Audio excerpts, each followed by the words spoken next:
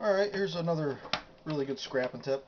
Um, I strip all of my copper, every last little bit of it. This is a plug, a wire out of a, a computer power supply or a computer monitor. What you want to do, I cut these close, and I'll actually pry this out. I got a little bit of bright wire and some brass. I pry them out. It's not that hard to do. Because you know, otherwise it's otherwise it's brass bearing, and that's like 15 cents a pound. You pry them out and get the little piece of bright wire off them.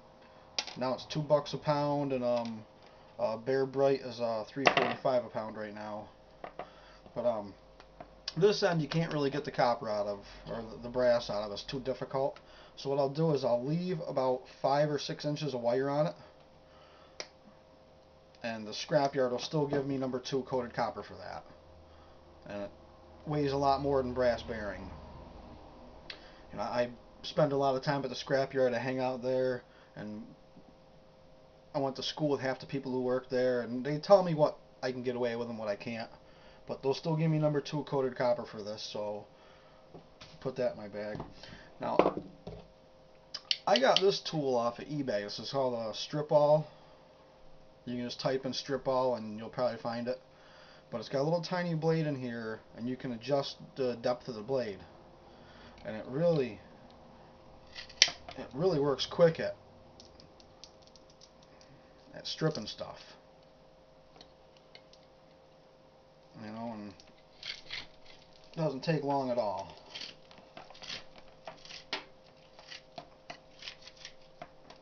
And it's really quite easy. Hey. But, uh, after I get the wire, get that out, then I have this thinner stranded wire. And I use a small small pocket knife. Um, the smaller the better, because if you're going to slip and cut yourself, you know, you don't want to slip and cut yourself with a, you know, like a six inch long blade. And I just simply, I have a little, a little clamp, clamp it to my desk. I just run a pocket knife down it. Just like uh just like filleting a fish. Cut it, fold it in half and out comes Bare Bright. I missed a little spot. Out comes Bare Bright. And uh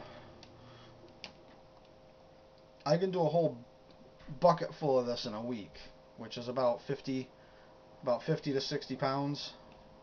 And I have in my garage 200 pounds of coated copper or more and I'm always coming across it you know being a scrapper. But it doesn't take long at all to fill a bucket up with this stuff.